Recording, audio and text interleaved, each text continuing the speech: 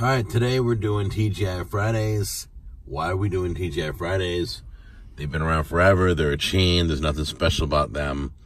I'm not a real big fan, but they just launched yesterday a special $12.99 rack of ribs, and I gotta check it out because everybody else is like $15 and up for ribs. So let's uh, go take a look.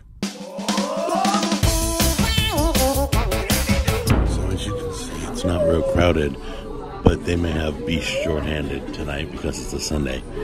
But like, there's a whole bunch of available tables, and we're having to wait 15 minutes for a table. That's a bummer. The offer on the wall says we add an 18% gratuity for parties of six or more.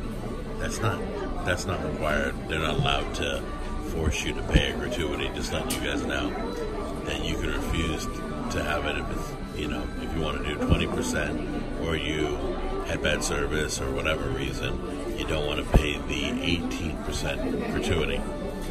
And don't forget, TGI Fridays is famous for their endless appetizers every night from 9 p.m. to close.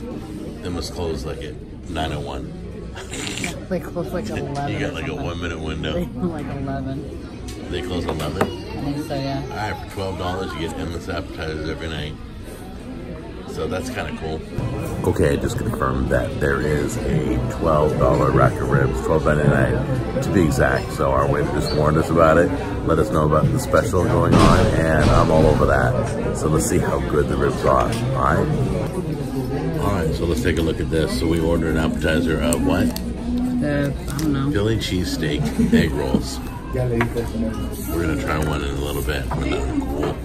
It just came out of the kitchen. Oh, you gonna try one? No, I'm just gonna take it and break it for you. Cool. Man, my lovely lady, you're so awesome.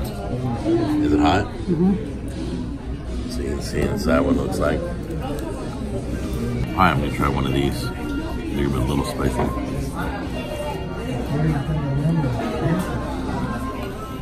Good okay.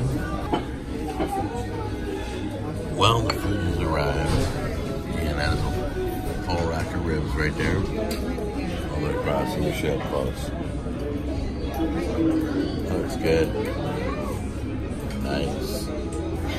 Coleslaw I'm not sure about, it's kind of scary. Salad looks beautiful. Look at that. So, so uh, we will try out the ribs and see how that is. Let's try this out. The bone came right out.